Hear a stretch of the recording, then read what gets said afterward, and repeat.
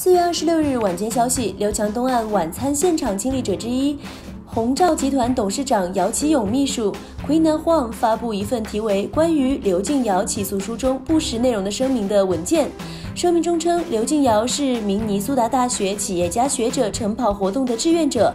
当天没有其他任何人就是否邀请刘静瑶提出任何需求或要求。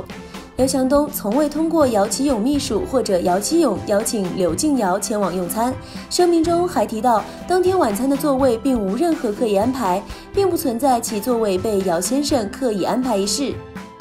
非凡娱乐实时报道。